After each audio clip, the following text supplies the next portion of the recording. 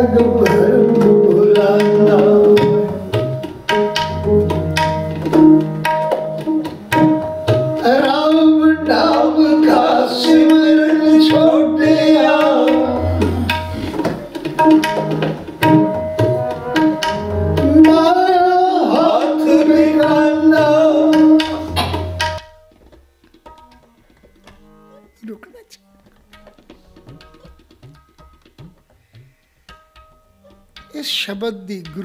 ਬਹਾਦਰ ਪਾਤਸ਼ਾਹ ਜੀ ਵੱਲੋਂ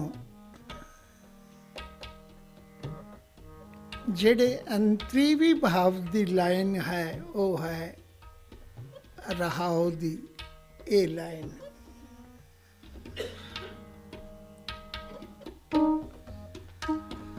ਰਾਮ ਨਾਮ ਕਾ ਸਿਮਰਨ ਛੋੜਿਆ।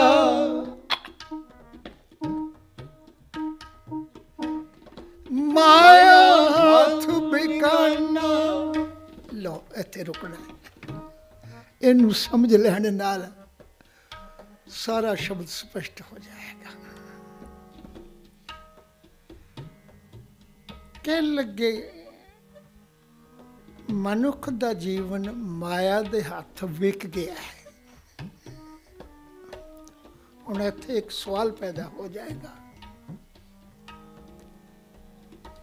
ਅਗਲੀਆਂ ਸਾਰੀਆਂ ਲਾਈਨਾਂ ਸਪਸ਼ਟ ਹੋ ਜਾਣਗੀਆਂ। ਮਾਤ ਪਿਤਾ, ਭਾਈ ਸੁਤ ਬੰਤਾ, ਮਾਇਆ ਹੱਥ, ਮਾਇਆ ਦੇ ਹੱਥ ਵਿਕਣ ਤੋਂ ਬਾਅਦ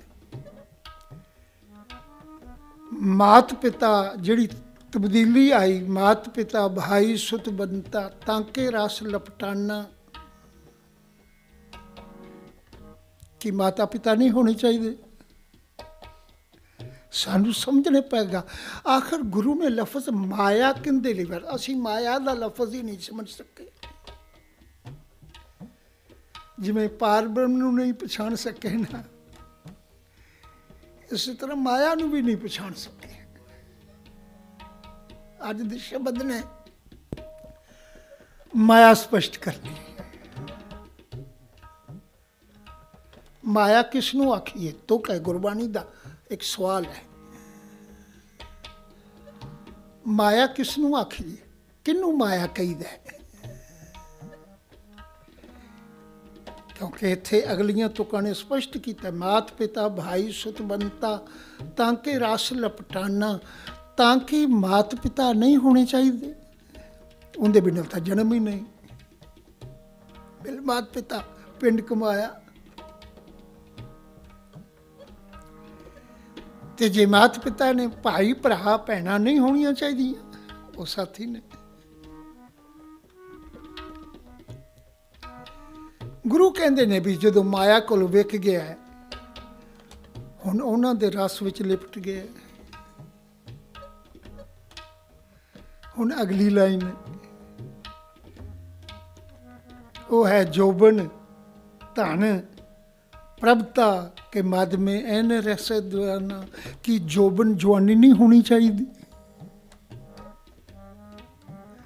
ਜੋਬਨ ਨੂੰ, ਜਵਾਨੀ ਨੂੰ ਤਾਂ ਮਨੁੱਖ ਸੰਭਾਲ ਸੰਭਾਲ ਰੱਖਦਾ ਹੈ, ਸਜਾ ਸਜਾ ਰੱਖਦਾ ਹੈ। ਜੀਵਨ ਦੇ, ਮਨੁੱਖੀ ਜੀਵਨ ਦੇ ਸਮੇਂ ਵਿੱਚੋਂ ਸਭ ਤੋਂ ਕੀਮਤੀ ਸਮਾਂ ਮਨੁੱਖ ਜੋਬਨ ਨੂੰ ਸਮਝਦਾ ਹੈ। ਜਵਾਨੀ। ਕਿ ਧਨ ਨਹੀਂ ਹੋਣਾ ਚਾਹੀਦਾ। ਸਿੱਖ ਨੂੰ ਗਰੀਬ ਹੋਣਾ ਚਾਹੀਦਾ। ਮੰਗਤਾ ਹੋਣਾ ਚਾ- ਅੱਜ ਤਾਂ ਅਸੀਂ ਫਖਰ ਕਰਨੇ ਆ ਕਿ ਸਿੱਖ ਮੰਗਤਾ ਨਹੀਂ ਹੁੰਦਾ। ਦੇਖੋ, ਗੁਰਬਾਣੀ ਨੂੰ ਜਿਉਂ-ਜਿਉਂ ਡੀਪਲੀ ਸਮਝਾਂਗੇ, ਬਹੁਤ ਕੁਝ ਖੁੱਲ ਜਾਏਗਾ। ਗੁਰੂ ਸਾਹਿਬ ਬਾਣੀ ਅੰਦਰ ਹੀ ਕਹਿੰਦੇ ਨੇ, ਜਿਸ ਤੂੰ ਆਵੇਂ ਚਿੱਤ ਬਹੁਤ ਤਿਸੈ ਧਾਨ ਜਿਹਨੂੰ ਰੱਬ ਚੇਤੇ ਆਵੇ, ਉਹਨੂੰ ਬਹੁਤਾ ਧਨ ਮਿਲਣਾ ਜਿਸ ਤੂੰ ਆਵੇਂ ਚਿਤ ਸੋ ਪਰਵਾਨ ਜਾਣ, ਜਿਸ ਤੂੰ ਆਵੇਂ ਚਿਤ ਬਹੁਤਾ ਤਿਸ ਧਨ। ਆਪਾਂ ਰੋਜ਼ ਪੜ੍ਹਨੇ ਆ, ਜਾਂ ਤੂੰ ਮੇਰੇ ਵੱਲ ਹੈ ਤਾਂ ਕਿਆ ਮੁਛੰਦਾ ਤੂੰ ਸਭ ਕੁਝ ਮੈਨੂੰ ਸੌਂਪਿਆ ਜਾਂ ਤੇਰਾ ਬੰਦਾ, ਤੇ ਅਗਲੀ ਲਾਈਨ ਪੜੋ ਲਖਮੀ ਤੋਟ ਨਾ ਆਵੇ ਲਖਮੀ ਕੀ ਹੈ ਮਾਇਆ? ਲਖਮੀ ਤੋਟ ਨਾ ਆਵੇ ਖਾਇ ਖਰਚ ਰਹਾਂਦਾ। ਜਿਹੜਾ ਤੇਰਾ ਬੰਦਾ ਬਣ ਜਾਏ, ਉਹਦੇ ਘਰ ਬਹੁਤ ਬਹੁਤ ਹੀ ਲਖਮੀ ਆ ਜਾਂਦੀ। ਖਾ ਖਰਚ ਰਹਿੰਦਾ ਹੈ।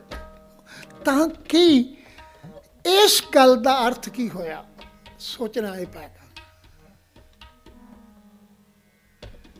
ਜਿਹੜੇ ਪਹਿਲੇ ਰਹਾਉ ਦੀ ਤੁਕ ਵਿੱਚ ਲਫ਼ਜ਼ ਕਹਿ ਦਿੱਤੇ ਨੇ, ਸਾਧੋ ਇਹ ਜਗ ਭਰਮ ਭੁਲਾਣਾ ਰਾਮ ਨਾਮ ਕਾ ਸਿਮਰਨ ਛੋੜਿਆ, ਮਾਇਆ ਹੱਥ ਬਿਕਾਨਾ। ਮਾਇਆ ਦੇ ਅੱਗੇ, ਮਾਇਆ ਦੇ ਹੱਥ ਵਿਕ ਗਿਆ। ਹੁਣ ਇੱਥੇ ਮਾਇਆ ਨੂੰ ਸਮਝਣਾ ਹੈ। ਜੇ ਧਨ ਮਾਇਆ ਨਹੀਂ, ਉਹ ਹੋਣੀ ਚਾਹੀਦੀ ਹੈ ਦਿੰਦਾ ਹੈ। ਜੇ ਮਾਤਾ ਪਿਤਾ, ਭੈਣ ਭਰਾ, ਸੰਬੰਧੀ ਮਾਇਆ ਨਹੀਂ, ਉਹ ਸਾਥੀ ਚਾਹੀਦੇ ਨੇ। ਮਨੁੱਖ ਜੀਵਨ ਵਿੱਚ ਉਹ ਸਾਥੀ ਬਣਾਉਂਦਾ ਹੈ। ਤਾਂ ਫਿਰ ਮਾਇਆ ਕੀ ਹੈ? ਜਿੰਦਾ ਉਲੰਭਾ ਦਿੱਤਾ ਜਾ ਰਿਹਾ ਹੈ। ਉਹ ਇੱਕ ਲਫ਼ਜ਼ ਵਿੱਚ ਸਪਸ਼ਟ ਕਰ ਰਹੇ ਨੇ ਪਹਿਲਾ ਸਵਾਲ ਹੈ, ਉਹ ਹੈ ਮਾਇਆ ਕਿਸ ਨੂੰ ਆਖੀ ਹੈ? ਗੁਰਬਾਣੀ ਦੀ ਤੁਕ ਹੈ। ਸਵਾਲ ਵੀ ਗੁਰਬਾਣੀ ਵਿੱਚੋਂ ਆਪਾਂ ਲੈਣਾ ਹੈ, ਉਹਨੂੰ ਹੱਲ ਵੀ ਗੁਰਬਾਣੀ ਵਿੱਚੋਂ ਕਰਨਾ ਹੈ। ਗੁਰਬਾਣੀ ਆਖਦੀ ਹੈ, ਮਾਇਆ ਕਿਸ ਨੂੰ ਆਖੀ ਹੈ? ਕਿਆ ਮਾਇਆ ਕਰਮ ਕਮਾਏ? ਦੱਸੋ, ਮਾਇਆ ਦੇ ਆਉਣ ਨਾਲ ਮਾਇਆ ਕੀ ਕਰਦੀ ਹੈ ਤੇ ਕਿਹੋ ਜੀ ਹੈ? ਕਿਨੂੰ ਆਖੀ ਦਾ ਮਾਇਆ? ਸਵਾਲ ਹੈ। ਇਹ ਭੁਲੇਖਾ ਦੂਰ ਹੋਣਾ ਚਾਹੀਦਾ ਗੁਰਮਤਿ ਵਿੱਚੋਂ। ਮਾਇਆ ਕਿਸ ਨੂੰ ਆਖੀਏ? ਕਿਆ ਮਾਇਆ ਕਰਮ ਕਮਾਏ? ਤੇ ਆਪ ਹੀ ਜਵਾਬ ਦਿੰਦੇ ਨੇ ਦੁਹਰਫੀ ਇਹ ਮਾਇਆ ਜਿਤ ਹਰ ਵਿਸਰੈ। ਦੇਖੋ ਦੋਨੋਂ ਤੁਕਾਂ ਗੁਰਬਾਣੀ ਦੀਆਂ ਜਵਾਬ ਵੀ ਗੁਰਬਾਣੀ ਵਿੱਚ ਉਹ ਹੈ, ਮਾਇਆ ਕਿਸ ਨੂੰ ਆਖੀਏ? ਤੇ ਇਧਰ ਜਵਾਬ ਹੈ, ਇਹ ਮਾਇਆ ਜਿਤ ਹਰ ਵਿਸਰੈ। ਮੋਹ ਉਪਜੈ ਪਾਹੋ ਦੂਜਾ ਲਾਇਆ। ਮਾਇਆ ਉਹ ਜਿੰਦੇ ਨਾਲ ਰੱਬ ਭੁੱਲ ਜਾਏ। ਪਹਿਲੇ ਲਫ਼ਜ਼ ਨੇ ਨਾ, ਮਾਇਆ, ਸਾਧੋ, ਇਹ ਜੱਗ ਭਰਮ ਭੁਲਾਣਾ ਭਰਮ ਕਹਿੰਦੇ ਨੇ ਅੰਧੇਰੇ ਨੂੰ। ਅੰਧੇਰੇ ਵਿੱਚ ਮਨੁੱਖ ਜ਼ਿਆਦਾ ਭੁੱਲਦਾ ਹੈ, ਬੇਪਛਾਣ ਗਈ।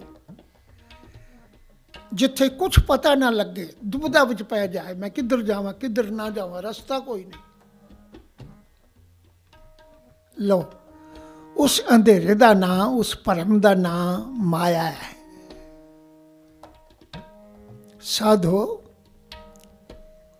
ਇਹ ਜਗ ਭਰਮ ਭੁਲਾਣਾ। ਅੰਧੇਰੇ ਵਿੱਚ ਭੁੱਲ ਗਿਆ ਹੈ, ਭਰਮ ਵਿੱਚ ਭੁੱਲ ਗਿਆ ਹੈ ਬੇਪਛਾਨ ਹੋ ਗਿਆ ਹੈ। ਕਿਉਂ ਹੋਇਆ ਕਿਉਂਕਿ ਮਾਇਆ ਭਰਮ ਪੈਦਾ ਕਰਦੀ ਹੈ। ਮਾਇਆ ਪੈਸੇ ਦਾ ਨਾਂ ਨਹੀਂ ਮਹਾਲ ਮਾੜੀਆਂ ਦਾ ਨਾਂ ਨਹੀਂ। ਰੱਬ ਵੀ ਮਹਿਲਾਂ ਵਿੱਚ ਰਹਿੰਦਾ ਹੈ। ਮੋਹਨ, ਤੇਰੇ ਉੱਚੇ ਮੰਦਰ,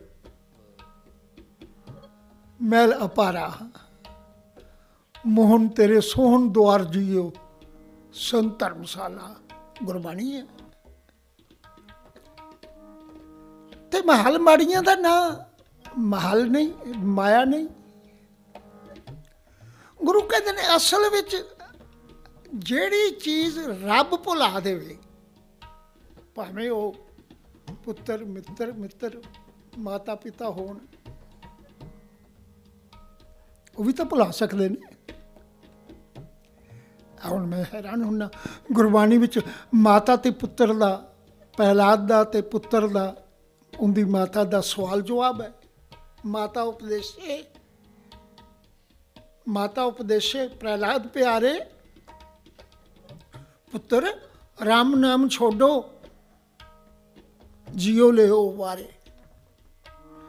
ਆਪਦੀ ਜਾਨ ਬਚਾ ਲੈ ਰਾਮ ਨਾਮ ਛੱਡ ਦੇ ਕੀ ਲੈਣਾ ਰਾਮ ਨਾਮ ਤੋਂ ਹੁਣ ਮਾਂ ਆਖ ਰਹੀ ਹੈ ਮਾਤਾ ਉਪਦੇਸੇ ਪ੍ਰਹਿਲਾਦ ਪਿਆਰੇ ਪੁੱਤਰ ਰਾਮ ਨਾਮ ਛੋਡੋ ਜਿਉ ਲਿਓ ਬਾਰੇ ਤੇ ਜੇ ਹੁਣ ਰਾਮ ਨਾਲ ਨਾਲੋਂ ਮਾਂ ਨੂੰ ਜ਼ਿਆਦਾ ਵੱਡਾ ਸਮਝਦਾ, ਇੱਥੇ ਭੁੱਲਦਾ ਸੀ। ਜਵਾਬ ਬੜਾ ਖੂਬਸੂਰਤ ਹੈ। ਕਹਿਣ ਲੱਗੇ, ਪ੍ਰਹਿਲਾਦ ਕਹੇ ਸੁਨੋ ਮੇਰੀ ਮਾਏ। ਜਵਾਬ ਦਿੰਦਾ ਹੈ। ਪ੍ਰਹਿਲਾਦ ਕਹੇ ਸੁਨੋ ਮੇਰੀ ਮਾਏ RAM ਨਾਮ ਨਾ ਛੋਡੋ। ਗੁਰਦੀਆ ਬਜਾਏ ਉਹ ਭੁੱਲਿਆ ਨਹੀਂ। ਮਾਂ ਭੁੱਲ ਗਿਆ। ਵੀ ਮਾਤਾ ਪੀ ਆਖਦੀ, ਰਾਮ ਨਾਮ ਨਹੀਂ ਭੁੱਲਿਆ। ਇਸੇ ਤਰ੍ਹਾਂ ਇਤਿਹਾਸ ਵਿੱਚ, ਬਾਣੀ ਵਿੱਚ ਵੀ ਨਾਮਦੇਵ ਜੀ ਦਾ ਇਤਿਹਾਸ ਵੀ ਆਉਂਦਾ ਹੈ। ਕਿ ਉਹ ਵੀ ਆਖਦੀ ਹੈ, ਛੱਡ ਦੇ, ਕੀ ਫ਼ਰਕ ਪੈਂਦਾ ਹੈ?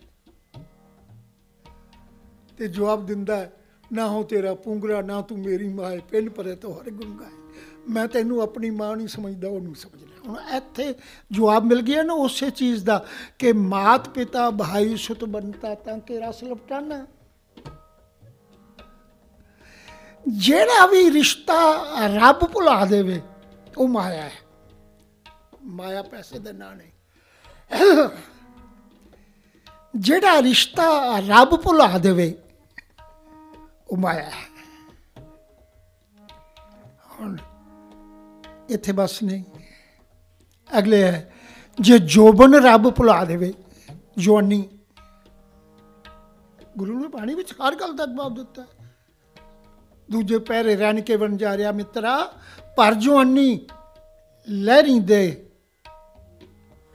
ਬੁਰਾ ਭਲਾ ਨਾ ਪਛਾਣ ਹੀ ਬਣ ਜਾ ਰਿਹਾ ਮਿੱਤਰਾ ਮਨ ਮੱਤਾ ਅਮੇਵ ਹੈ? ਉਹਨੇ ਵੀ ਭੁਲਾ ਦਿੱਤਾ। ਜੇ ਜਵਾਨੀ ਰੱਬ ਭੁਲਾ ਦੇਵੇ ਕਿ ਸਭ ਕੁਝ ਮੈਂ ਕਰ ਸਕਣਾ, ਰੱਬ ਕੋਲ ਕਿਉਂ ਰੱਬ ਦੀ ਕੀ ਹਸੀਅਤ ਹੈ ਮੈਨੂੰ ਮੇਰੀ ਅਗਵਾਈ ਕਰੇ, ਉਹ ਮੈਨੂੰ ਦੇਵੇ। ਮੈਂ ਆਪ ਕਮਾਇਆ ਜੋਬਨ, ਜੇ ਜਵਾਨੀ ਰੱਬ ਭੁਲਾ ਦੇਵੇ ਤਾਂ ਉਹ ਮਾਇਆ ਹੈ। ਜੇ ਧਨ ਰੱਬ ਭੁਲਾ ਦੇਵੇ ਕਿ ਅਖੰਡ ਪਾਠ ਮੈਂ ਪੈਸਾ ਲਾਇਆ ਤਾਂ ਕਰਾਇਆ। ਇਹ ਗੁਰਦੁਆਰਾ ਤਾਂ ਬਣਿਆ ਜੇ ਮੈਂ ਉਗਰਾਈ ਦਿੱਤੀ ਹੈ। ਜਿਹੜਾ ਧਨ ਰੱਬ ਭੁਲਾ ਦੇਵੇ, ਉਹ ਧਨ ਵੀ ਮਾਇਆ। ਮਤਲਬ ਇਹ ਵੀ ਜਿਹੜਾ ਰੱਬ ਨੂੰ ਭੁਲਾ ਦੇਵੇ, ਜਿਤ ਮਾਇਆ, ਇਹ ਮਾਇਆ ਜਿਤ ਹਰ ਵਿਸਰੈ। ਜੋ ਆਵੇ, ਬੜਾ ਦੁਹਰਫੀ ਸੀ ਕਿ ਨਾ ਜੋਬਨ ਜਵਾਨੀ ਮਾਇਆ ਹੈ, ਨਾ ਪ੍ਰਭਤਾ ਮਾਇਆ ਹੈ, ਨਾ ਮਾਤਾ ਪਿਤਾ ਮਾਇਆ ਹੈ, ਨਾ ਭੈਣ ਭਰਾ ਇਹਨਾਂ ਸਾਰਿਆਂ ਦੀ ਲੋੜ ਹੈ, ਪਰ ਇਹਨੂੰ ਇਹਦੇ ਵਿੱਚ ਭੁੱਲ ਨਾ ਜਾਈ। ਬਸ ਮਸਲਾ ਇਹ ਹੈ। ਜਿਸ ਦਿਨ ਤੂੰ ਇਹਨਾਂ ਵਿੱਚ ਖਚਤ ਹੋ ਕੇ ਰੱਬ ਨੂੰ ਭੁੱਲ ਗਿਆ,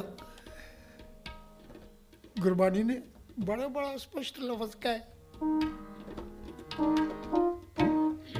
ਇਨ ਮਾਇਆ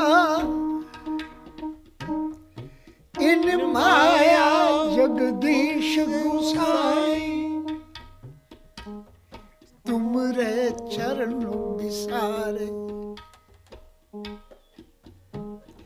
ਤੁਮਰੇ ਚਰਨ ਵਿਸਾਰੇ ਕਿੰਚਤ ਪ੍ਰੀਤ ਨ ਉਪਜੇ ਜਨ ਕੋ ਜਨ ਕਹਾਂ ਕਰੇ ਵਿਚਾਰੇ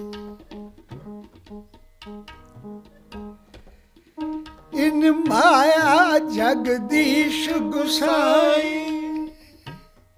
ਐਸਾ ਤੈ ਜਗ, ਐਸਾ ਤੈ ਜਗ ਪਰਮ ਭੁਲਾਇਆ। ਐਸਾ ਤੈ ਜਗ ਪਰਮ ਭੁਲਾਇਆ, ਕੈਸੇ ਬੂਝੇ ਜਬ ਮੋਇਆ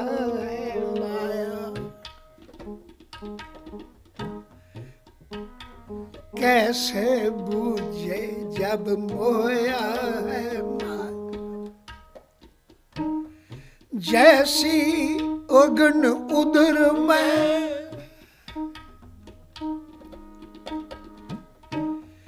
जैसी अगन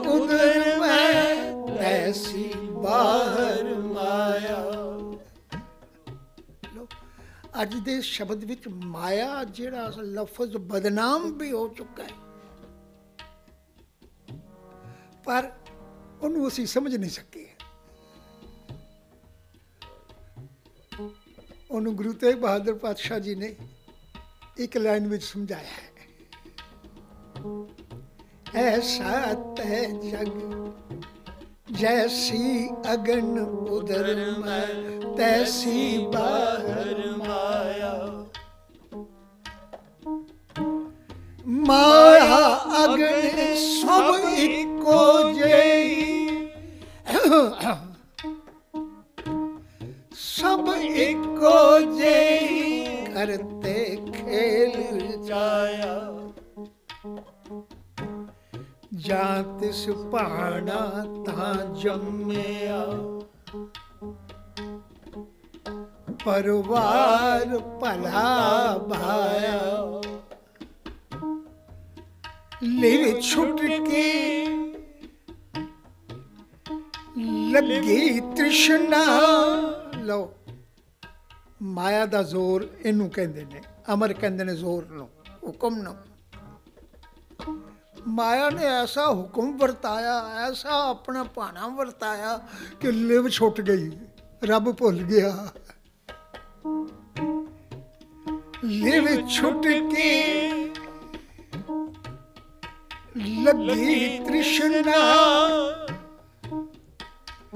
ਮਾਇਆ ਅਮਰ ਵਰਤਾਇਆ ਇਹ ਮਾਇਆ ਜਿਤ ਹਰ ਵਿਸਰੇ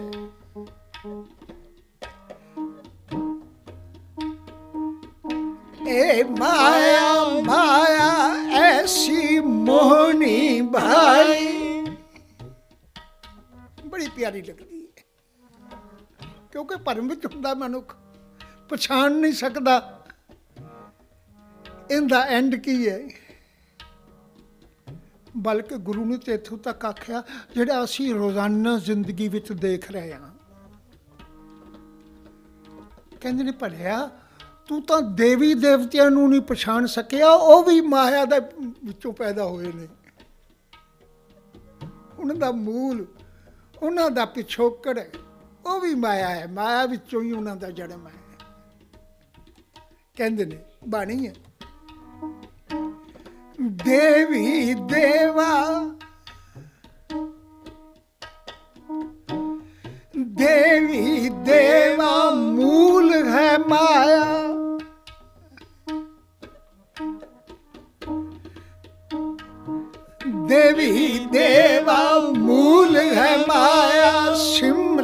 ਸਿਮਰਤ ਸ਼ਾਸਤਰ ਜਿਨ ਉਪਾਇਆ। ਇਹ ਤੋਂ ਇਹ ਜ਼ਿਆਦਾ ਸਪਸ਼ਟ ਕੀ ਕਰਨਾ? ਕਹਿਣ ਲੱਗੇ, ਜਿਨ੍ਹਾਂ ਨੇ ਸਿਮਰਤ ਸ਼ਾਸਤਰ ਆਪਣੀ ਉਪਮਾ ਲਈ, ਆਪਣੀ ਵਡਿਆਈ ਲਈ, ਆਪਣੇ ਆਪ ਨੂੰ ਜਨਾਉਣ ਲਈ ਪੈਦਾ ਕੀਤੇ, ਉਹ ਦੇਵੀ ਦੇਵਤੇ ਵੀ ਮਾਇਆ ਵਿੱਚੋਂ ਹੀ ਜਨਮ ਲੈਂਦੇ ਨੇ। ਇਸੇ ਲਈ ਰੱਬ ਭੁੱਲ ਜਾਂਦਾ ਮਨੁੱਖ ਦੇਵੀ ਦੇਵਤਿਆਂ ਦੀ ਪੂਜਾ ਸ਼ੁਰੂ ਬਾਣੀ ਵਿੱਚ ਹੈ। ਸਤਿਗੁਰੂ ਕਹਿੰਦੇ ਨੇ, ਦੇਵੀ ਦੇਵਾ ਪੂਜੀਏ ਭਾਈ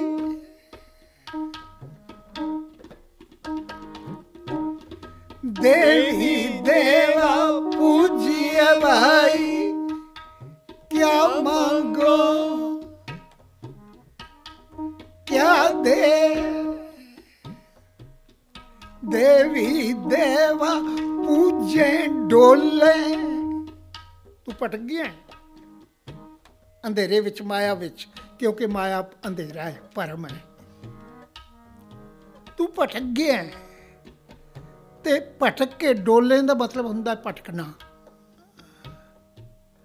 ਤੂੰ ਭਟਕ ਕੇ ਅੰਧੇਰੇ ਵਿੱਚ ਉਹਨਾਂ ਦੀ ਪੂਜਾ ਸ਼ੁਰੂ ਕਰ ਦਿੱਤੀ ਹੈ। ਦੇਵੀ ਦੇਵਾ ਡੋਲੇ। ਪਾਜ ਬ੍ਰਹਮ ਨਹੀਂ ਜਾਣਨਾ। ਰੱਬ ਨੂੰ ਪਛਾਣਾ ਭੁੱਲ ਗਿਆ ਇੱਥੇ ਵੀ ਆ ਕੇ ਆਖੀ ਜਾਂਦਾ ਪ੍ਰਥਮ ਭਗਵਤੀ ਸਿਮਰ ਕੇ। ਇੱਥੇ ਵੀ ਆਖੀ ਜਾਣਾ ਹਾਲਾਂਕਿ ਉਸ ਲਿਖਣ ਵਾਲੇ ਕਿਸੇ ਜਹਲੀ ਸ਼ਾਇਰ ਨੇ ਅਖੀਰ ਤੇ ਸਪਸ਼ਟ ਕਰ ਦਿੱਤਾ ਉੱਪਰ ਵੀ ਉਹਨੇ ਹੈਡਿੰਗ ਦੇ ਦਿੱਤਾ ਵਾਰ ਦੁਰਗਾ ਕੀ। ਬੇਸ਼ੱਕ ਪੜ੍ਹ ਕੇ ਵੇਖ ਲਓ ਭਗਵਤੀ ਦੀ ਨਹੀਂ। ਤੂੰ ਲੋਕਾਂ ਨੂੰ ਭੁਲੇਖਾ ਪਾਉਣਾ ਹੈ ਤੇ ਲਿਖ ਦਿੱਤਾ ਹੈ, ਵਾਰ ਸ੍ਰੀ ਭਗਵਤੀ ਜੀ ਕੀ ਉੱਪਰ ਪੜ੍ਹ ਕੇ ਵੇਖ ਲੈ, ਉਸ ਸਥਾਨ ਤੇ ਲਿਖਿਆ ਹੋਇਆ ਹੈ, ਵਾਰ ਦੁਰਗਾ ਜੀ ਕੀ ਤੇ ਅਖੀਰ ਤੇ ਵੀ ਇਸੇ ਹੀ ਵਾਰ ਦੇ ਅਖੀਰ ਤੇ ਜਿੱਥੋਂ ਜਿੰਦਾ ਆਰੰਭ ਪ੍ਰਥਮ ਭਗਵਤੀ ਨਾਲ ਤੂੰ ਸ਼ੁਰੂ ਕਰਨਾ ਹੈ ਨਾ, ਇਸੇ ਵਾਰ ਦੇ ਅਖੀਰ ਤੇ ਇੱਕ ਲਫ਼ਜ਼ ਨੇ, ਦੁਰਗਾ ਪਾਠ ਬਣਾਇਆ ਸਭੇ ਪੌੜੀਆਂ, ਆਖਰੀ ਲਾਈਨ ਹੈ। ਦੁਰਗਾ ਪਾਠ ਬਣਾਇਆ ਸਭੇ ਪੌੜੀਆਂ, ਫੇਰ ਨਾ ਜੋ ਨਹੀਂ ਆਇਆ ਜਿਨੇ ਇਹ ਗਾਇਆ। ਤੇ ਗੁਰੂ ਤੈਨੂੰ ਆਵਾਜ਼ ਦੇ ਰਿਹਾ ਆਖਦਾ ਦੇਵੀ, ਦੇਵਾ ਪੂਜੈ ਡੋਲੇ। ਪਰ ਬ੍ਰਹਮ ਨਹੀਂ ਜਾਣਾ ਦੇਵੀ, ਦੇਵਾ, ਮੂਲ ਹੈ ਸਿਮਰਤ ਸ਼ਾਸਤ ਜਿਨ ਉਪਾਇਆ। ਇਹ ਮਾਇਆ ਮਾਇਆ ਐਸੀ ਮੋਹਣੀ ਵਾ ਦੇ ਜੀ। ਜਿੰਨੇ ਵੀ ਜੀਵ ਸਨ, ਉਹਨਾਂ ਸਾਰਿਆਂ ਨੂੰ ਡਕਾਈ ਦਾ ਮਤਲਬ ਹੁੰਦਾ ਹੈ, ਇਹਨੇ ਭੁਲੇਖੇ ਵਿੱਚ ਰੱਖਿਆ ਹੋਇਆ ਹੈ ਧੋਖੇ ਵਿੱਚ ਰੱਖਿਆ ਹੋਇਆ। ਹੈ ਜੇਤਾ ਜੀ, ਬਲਕਿ ਗੁਰਬਾਣੀ ਅੰਦਰ ਜਦੋਂ ਮੈਂ ਪੜਿਆ ਹੈਰਾਨ ਹੋਇਆ, ਧਰਤੀ ਤੇ ਰਹਿਣ ਵਾਲੇ, ਧਰਤੀ ਦੇ ਥੱਲੇ ਰਹਿਣ ਵਾਲੇ, ਤੇ ਆਕਾਸ਼ ਵਿੱਚ ਰਹਿਣ ਵਾਲੇ ਸਾਰੇ ਜੀਵਾਂ ਦਾ ਜ਼ਿਕਰ ਕਰ ਦਿੱਤਾ। ਕਹਿਣ ਲੱਗੇ, ਜਲ ਮੀਨ ਜਿਹੜੇ ਪਾਣੀ ਵਿੱਚ ਰਹਿੰਦੇ ਨੇ। ਜਲ ਮੀਨ ਮਾਇਆ ਕੇ ਬੇਦੇ। ਭਰਮ ਵਿੱਚ ਪੈਣਗੇ, ਪੈਗੀ ਮੱਛਲੀ। ਉਹ ਕੁੰਡੀ ਦੇ ਉੱਤੇ ਲੱਗੇ ਹੋਏ ਮਾਸ ਨੂੰ ਤਾਂ ਦੇਖ ਸਕੀ, ਪਰ ਉਹਦੇ ਥੱਲੇ ਲੋਹੇ ਦੀ ਕੁੰਡੀ ਨੂੰ ਨਾ ਪਛਾਣ ਸਕੀ। ਐਸੇ ਦਾ ਨਾਮ ਆਇਆ ਭਰਮ ਦਾ। ਤੇ ਗੁਰੂ ਨੇ ਆਵਾਜ਼ ਦਿੱਤੀ। ਕਹਿਣ ਲੱਗੇ, ਜਲ ਮੈਂ ਮੀਨ ਮਛਲੀ, ਮਾਇਆ ਕੇ ਬੇਦੇ ਦੀਪਕ ਪਤੰਗ, ਪਤੰਗਾ ਉੱਡਦਾ ਹੈ, ਆਕਾਸ਼ ਵਿੱਚ ਉਹਦੇ ਇੱਕ ਨਾਲ ਖੰਭ ਨੇ ਪਤੰਗਾ ਹੈ। ਪਤੰਗ ਆ ਜਿਹੜੀ ਉੱਡਣ ਵਾਲੀ ਗੁੱਡੀ ਨੂੰ ਵੀ ਬੱਚੇ ਨੇ ਪਤੰਗ ਕਹਿੰਦੇ ਨੇ, ਪਤੰਗੇ ਦਾ ਮਤਲਬ ਹੈ ਉੱਡਣ ਵਾਲਾ। ਕਹਿਣ ਲੱਗੇ, ਦੀਪਕ ਪਤੰਗ ਪਤੰਗਾ। ਉਹ ਵੀ ਮਾਇਆ ਮੈਂ ਛੇਦੇ। ਉਹ ਵੀ ਉਸ ਦੀਪਕ ਦੀ ਲਾਟ ਦੀ ਚਮਕ ਨੂੰ ਦੇਖ ਸਕਿਆ, ਉਹਦੇ ਅੰਦਰ ਦੀ ਅੱਗ ਨਾ ਪਛਾਣ ਸਕਿਆ। ਇਸੇ ਦਾ ਨਾਮ ਮਾਇਆ ਹੈ। ਕਹਿਣ ਲੱਗੇ, ਦੀਪਕ, ਪਤੰਗ ਮਾਇਆ ਕੇ ਛੇਦੇ? ਹੈ ਕਾਮ ਮਾਇਆ ਕੁੰਚਰ ਕੋ ਵਿਆਪੇ ਧਰਤੀ ਤੇ ਰਹਿਣ ਵਾਲਾ ਤਿੰਨੋਂ ਜੀਵ ਆ ਗਏ ਨੇ ਜਲ 'ਚ ਰਹਿਣ ਵਾਲਾ ਆਕਾਸ਼ ਵਿੱਚ ਉੱਡਣ ਵਾਲਾ ਤੇ ਧਰ- ਧਰਤੀ ਤੇ ਰਹਿਣ ਵਾਲਾ ਕਾਮ ਮਾਇਆ ਕੁੰਚਰ ਕੋ ਵਿਆਪੇ ਉਹ ਵੀ ਕਾਲਬੂਤ ਦੀ ਹਸਨੀ ਨਾ ਪਛਾਣ ਸਕਿਆ ਜੋ ਨਲਨੀ ਸੂਟਾ ਗਏ ਹੋ ਮਨ ਬੌਰਾ ਰੇ ਮਾਇਆ ਇਹ ਵਿਵਹਾਰ ਮਾਇਆ ਦਾ ਵਿਵਹਾਰ ਉਹਦਾ ਤਾਂ ਇਹੋ ਕਰਤੱਵ ਹੈ ਕਿ ਭਰਮ ਵਿੱਚ ਪਾਉਣਾ ਬਸ ਅਸਲ ਵਿੱਚ ਭਰਮ ਦਾ ਨਾਮ ਮਾਇਆ ਹੈ। ਉਹ ਕਿਸੇ ਚੀਜ਼ ਦੇ ਨਾਲ ਵੀ ਜੁੜ ਜਾਏ। ਜਿੱਥੇ ਵੀ ਭੁਲੇਖਾ ਪੈ ਜਾਏ, ਮਨੁੱਖ ਪਛਾਣ ਨਾ ਸਕੇ, ਉੱਥੇ ਮਾਇਆ ਪੈ ਗਈ। ਕਹਿਣ ਲੱਗੇ, ਇਹ ਮਾਇਆ ਜਿਹੜੀ ਹੈ, ਇਹਦੇ ਕੀ ਨਿਸ਼ਾਨੀ ਹੈ? ਮਾਇਆ ਕਿਸ ਨੂੰ ਆਖੀਏ? ਕਿਆ ਮਾਇਆ ਕਰਮ ਕਮਾਇਆ ਹੁਣ ਸਵਾਲ ਪੈਦਾ ਹੁੰਦਾ ਹੈ। ਸਭ ਤੋਂ ਵੱਡੀ ਦੁੱਖ ਵਾਲੀ ਗੱਲ ਜਿਹੜੀ ਗੱਲ ਸਪਸ਼ਟ ਕੀਤੀ ਹੈ ਗੁਰੂ ਤੇਗ ਬਹਾਦਰ ਪਾਤਸ਼ਾਹ ਜੀ ਨੇ ਕਹਿਣ ਲੱਗੇ ਉਹ ਇਹ ਕਿ ਮੇਰੇ ਰੱਬ ਗੁਰੂ ਨੇ ਹੁਕਮ ਕੀਤਾ ਸੀ ਹੁਕਮ ਕੀਤਾ ਸੀ ਕਿ ਸਿੱਖਾ ਮਨ ਵਿੱਚ ਸਤਿਗੁਰ ਕੇ ਪਾਸ ਲੋ ਇੱਥੋਂ ਦੁਖਾਂ ਆ ਗੱਲ ਸਮਝਣ ਨਾਲ ਜੋੜ ਕੇ ਤਾਂ ਸਪਸ਼ਟ ਹੋਏਗੀ ਮੇਰੇ ਗੁਰੂ ਨੇ ਹੁਕਮ ਕੀਤਾ ਸੀ, ਮਨ ਵਿੱਚ ਸਤਿਗੁਰ ਕੇ ਪਾਸ ਤੇ ਸੇਵੇ ਕੇ ਕਾਰਜ ਰਾਸ। ਸੁਖੀ ਹੋ ਗਿਆ। ਪਰ ਤੇਰੇ ਕੋਲ ਕੰਮ ਉਲਟ ਹੋ ਗਿਆ। ਤੂੰ ਮਨ ਗੁਰੂ ਕੋਲ ਵੇਚਣ ਦੀ ਬਚਾਏ ਮਾਇਆ ਹੱਥ ਵਿਕਾਣਾ ਲੋ ਆ ਮੁਕਾਬਲਾ ਸਮਝਣਾ ਨਾਥ ਕਛੂ ਨਾ ਜਾਣੋ। ਮਨ ਮਾਇਆ ਕੇ ਹੱਥ ਵਿਕਾਣਾ ਜਿਹੜਾ ਮਨ ਗੁਰੂ ਕੋਲ ਵੇਚਣਾ ਸੀ ਤੇ ਗੁਰੂ ਨੇ ਉਸ ਮਨ ਨੂੰ ਮੇਰੇ ਮਾਲਕ ਲਈ, ਰੱਬ ਲਈ RAM ਨਾਮ ਲਈ, ਉਹਦਾ ਘਰ ਬਣਾਉਣ ਲਈ ਰਾਖਵਾਂ ਕਰਨਾ ਸੀ। ਅਗਮ ਰੂਪ ਦਾ ਮਨ ਮੈਂ ਥਾਨਵਾ। ਪਿਛਲੇ ਦਿਨਾਂ ਚ ਆ ਸਕਾ ਇਹ ਉਹ ਰੱਬ ਨੇ RAM ਨਾਮ ਨੇ ਅੰਦਰ ਵਸਣਾ ਸੀ। ਜੇ ਤੂੰ ਮਨ ਵਿੱਚ ਸਤਿਗੁਰੂ ਕੇ ਪਾਸ ਗੁਰੂ ਕੋਲ ਸੌਂਪ ਦਿੰਦਾ, ਵੇਚ ਦਿੰਦਾ, ਤਾਂ ਗੁਰੂ ਨੇ ਉਹ ਮਨ ਦਾ ਘਰ ਜਿਹੜਾ ਹੈ, ਉਹ ਰੱਬ ਦਾ ਘਰ ਬਣਾ ਦੇਣਾ ਸੀ। ਭਗਵਾਨ ਦਾ ਘਰ ਹੋ ਜਾਣਾ ਸੀ। ਉਥੇ ਭਗਵਾਨ ਨੇ RAM ਨਾਮ ਨੇ ਵਸਣਾ ਸੀ। ਪਰ ਗੱਲ ਹੋ ਗਈ ਉਲਟ। ਉਹ ਮਨ ਤੂੰ ਵੇਚ ਦਿੱਤਾ ਮਾਇਆ ਅੱਗੇ। ਮਾਇਆ ਨੇ ਉਹ ਘਰ ਸ਼ੈਤਾਨ ਦਾ ਘਰ ਬਣਾ ਦਿੱਤਾ, ਭਗਵਾਨ ਦਾ ਨਹੀਂ। ਅੱਜ ਬਹੁਤੇ ਸ਼ੈਤਾਨ ਦੇ ਘਰ ਬਣਨੇ, ਈਰਖਾ, ਦੁਆਖਤਾ, ਨਿੰਦਾ, ਚੁਗਲੀ, ਦੂਜੇ ਦਾ ਹੱਕ ਖਾਣਾ, ਦੂਜੇ ਨੂੰ ਮਾੜਾ ਆਖਣਾ, ਉਹਨੂੰ, ਉਹਦੇ ਤੇ ਜ਼ੁਲਮ ਕਰਨਾ, ਸਭ ਕੁਝ ਇਸ ਧਰਤੀ ਤੇ ਹੋ ਰਿਹਾ।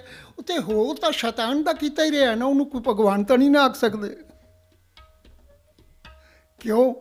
ਤੇ ਕਰ ਵੀ ਮਨੁੱਖ ਹੀ ਰਿਹਾ ਕੋਈ ਹੋਰ ਤਾਂ ਨਹੀਂ ਕਰ ਰਿਹਾ? ਮੈਂ ਤਾਂ ਕਈ ਵਾਰ ਕਹਿਣਾ ਕਿ ਮਨੁੱਖ ਨੂੰ ਮਨੁੱਖ ਕੋਲੋਂ ਜ਼ਿਆਦਾ ਖਤਰਾ ਹੈ, ਸੱਪ ਕੋਲੋਂ ਵੀ ਨਹੀਂ।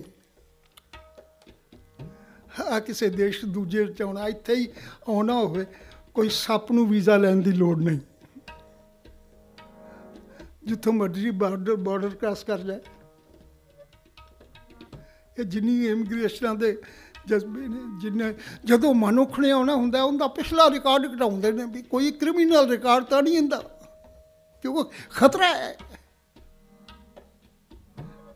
ਸਭ ਨੂੰ ਇਮੀਗ੍ਰੇਸ਼ਨ ਦੀ ਲੋੜ ਨਹੀਂ। ਉਹ ਬਾਰਡਰ ਕ੍ਰਾਸ ਕਰਤੇ ਆ ਜਾਏ। ਮਨੁੱਖ ਕੋਲੋਂ ਖਤਰਾ ਜ਼ਿਆਦਾ ਹੈ।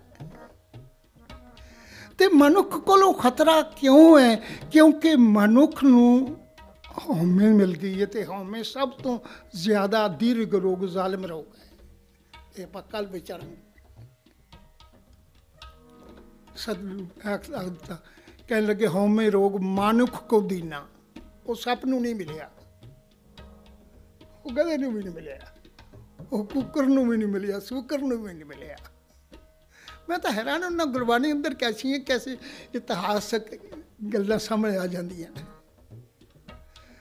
ਸਤਿਗੁਰੂ ਕਹਿੰਦੇ ਨੇ ਬਾਣੀ ਅੰਦਰ। ਕਹਿੰਦੇ ਨੇ, ਮੈਂ ਦੇਖਦਾ ਕੀਆਂ ਗੁਰਮੰਤਰ ਹੀਨਿਸ ਜੋ ਪ੍ਰਾਣੀ ਤਰਗੰਤ ਜੋਨ ਵਰਿਸ਼ਟ ਨੇ। ਅਗਲੇ ਪਾਸੇ ਕਹਿੰਦੇ ਨੇ ਦੀ ਜੂਨ ਤਾਂ ਭੈੜੀ ਨਹੀਂ ਮਨੁੱਖ ਦੀ ਕਿ ਕੂਕਰੈ, ਸੂਕਰੈ ਗਰਦਬੈ ਕਾਕਾ ਸਰਪਨੈ ਤੋਲਣਾ ਖਲੈ।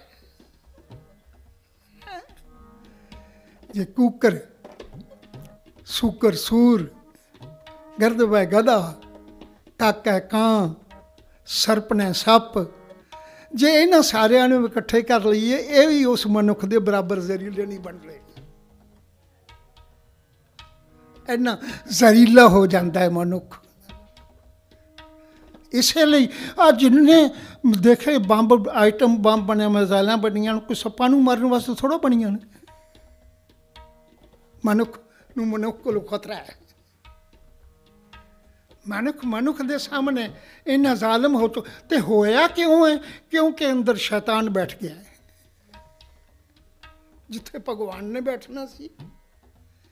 ਜਿਹੜਾ ਘਰ ਭਗਵਾਨ ਲਈ ਗੁਰੂ ਨੇ ਤਿਆਰ ਕਰਨਾ ਸੀ, ਉਹ ਘਰ ਮਾਇਆ ਨੇ, ਭੁਲੇਖੇ ਨੇ, ਭਰਮ ਨੇ, ਨਾਮ ਪਛਾਣ ਨੇ, ਬੇਪਛਾਣਗੀ ਨੇ, ਸ਼ੈਤਾਨ ਦਾ ਘਰ ਬਣਾ ਦਿੱਤਾ।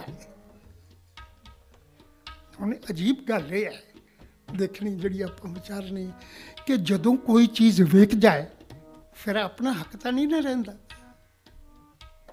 ਹੁਣ ਉਸ ਮਨ ਮਨ ਮਾਇਆ ਮੇ ਰਮ ਰੋ ਨਿਕਸਤ ਨਾ ਹੈ ਨਮੀਤ ਹੁਣ ਮਨ ਤੇ ਸਾਡਾ ਕੋਈ ਰੋਬ ਨਹੀਂ, ਸਾਡਾ ਮਨ ਤੇ ਕੋਈ ਕਬਜ਼ਾ ਨਹੀਂ, ਕਬਜ਼ਾ ਮਾ- ਮਾਇਆ ਦਾ ਹੋ ਚੁੱਕਾ ਹੈ। ਉਹ ਸਾਡੀ ਗੱਲ ਵੀ ਨਹੀਂ ਸੁਣਦਾ। ਸਤਿਗੁਰੂ ਨੇ ਬਾਣੀ ਵਿੱਚ ਆਖਿਆ ਆਖਣ ਸੁਣਨਾ ਪਾਉਣ ਕੀ ਬਾਣੀ, ਇਹ ਮਨ ਰੱਤਾ ਮਾਇਆ। ਹੁਣ ਤਾਂ ਆਖਣਾ ਸੁਣਨਾ ਵੀ ਉਹੀ ਹੈ, ਜਿਵੇਂ ਪਾਉਣ ਦੀ ਆਵਾਜ਼ ਆ, ਉਹ ਕਹਿੰਦਾ, ਮੈਂ ਇਹਨੂੰ ਕੀ ਸਮਝਦਾ ਗੁਰੂ ਵੀ ਬੋਲੀ ਜਾਏ, ਰੋਜ਼ ਹੁਕਮਨਾਮੇ ਜਾਰੀ ਕਰੀ ਜਾ ਮੈਂ ਕੀ ਸਮਝਣਾ ਇਹਨੂੰ? ਕਿਉਂਕਿ ਕਬਜ਼ਾ ਨਹੀਂ। ਵਿਕ ਗਿਆ ਹੁਣ ਜਦੋਂ ਇਹ ਚੀਜ਼ ਵੇਚਦੇ ਹੋ, ਉਹਦੇ ਤੇ ਤੁਹਾਡਾ ਕਬਜ਼ਾ ਨਹੀਂ ਰਹਿੰਦਾ। ਉਹ ਜਿਵੇਂ, ਜਿੰਦੇ ਕੋਲ ਵਿਕੀ ਉਹ ਜਿਵੇਂ ਮਰਜ਼ੀ ਵਰਤੇ, ਜਿਵੇਂ ਮਰਜ਼ੀ ਕਬਜ਼ਾ ਕਰੇ। ਉਹਨੂੰ ਨੇ ਸ਼ੈਤਾਨ ਦਾ ਘਰ ਬਣਾ ਦਿੱਤਾ ਹੈ। ਤੇ ਹੁਣ ਆਪਾਂ ਸਵੇਰੇ ਵਿਚਾਰਨਾ ਇਹ ਹੈ ਕਿ ਉਹਨੇ ਸ਼ੈਤਾਨ ਦਾ ਘਰ ਕਿਵੇਂ ਬਣਾਇਆ ਹੈ। ਤੇ ਮਨ ਉਹਦੇ ਕੋਲ ਵਿਕਣ ਤੋਂ ਬਾਅਦ ਉਹਨੇ ਕਬਜ਼ਾ ਕਿਵੇਂ ਕੀਤਾ ਹੈ। ਕਬਜ਼ਾ ਵੀ ਕੁਛ ਸੌਖਾ ਨਹੀਂ ਮਿਲਦਾ। ਮਾਇਆ ਬੜੀ ਬਲਵਾਨ ਹੈ। ਉਹਨੇ ਬੜਾ ਕਬਜ਼ਾ ਤੇ ਉਹ ਦੇਖਣਾ ਇਹ ਹੈ ਕਿ ਮਾਇਆ ਕਿਸੇ ਦੌਲਤ ਦਾ ਮਹਾਲ ਮਾੜੀਆਂ ਦਾ ਨਾਂ ਨਹੀਂ। ਮਾਇਆ ਅੰਧੇਰੇ ਦਾ, ਅਗਿਆਨਤਾ ਦਾ, ਭਰਮ ਦਾ ਨਾਂ ਹੈ। ਤੇ ਇਹੋ ਹੀ ਗੱਲ ਗੁਰੂ ਤੇਗ ਬਹਾਦਰ ਪਾਤਸ਼ਾਹ ਜੀ ਨੇ ਅੱਜ ਦੇ ਸ਼ਬਦ ਵਿੱਚ ਆਖ ਦਿੱਤੀ। ਕਹਿਣ ਲੱਗੇ, ਮਨੁੱਖ ਜਿਹੜਾ ਹੈ, ਉਹ ਭਰਮ ਵਿੱਚ ਭੁੱਲ ਗਿਆ, ਕਿਉਂਕਿ ਇਹ ਮਾਇਆ ਦੇ ਹੱਥ ਭਾਵ ਅੰਧੇਰੇ ਦੇ ਹੱਥ ਵਿਕ ਗਿਆ ਭਰਮ ਦੇ ਹੱਥ ਵਿਕ ਗਿਆ ਕਹਿਣ ਲੱਗੇ ਸਾਧੋ ਇਹ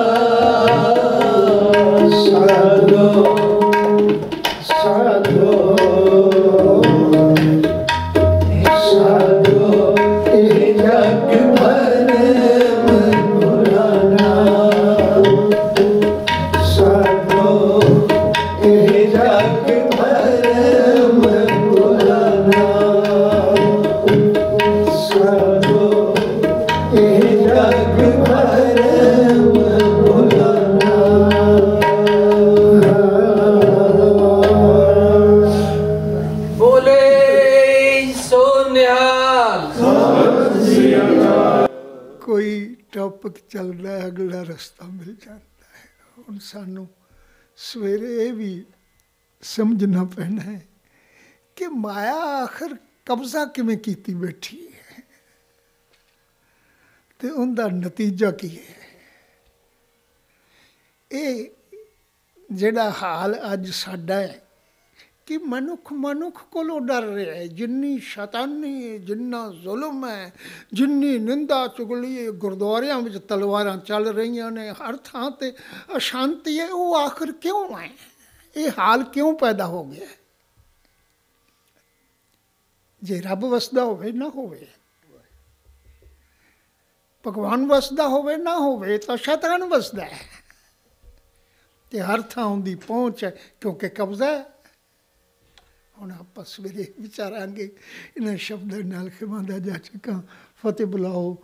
ਵਾਹਿਗੁਰੂ ਜੀ ਕਾ ਖਾਲਸਾ। ਵਾਹਿਗੁਰੂ ਜੀ ਕੀ ਫਤਿਹ।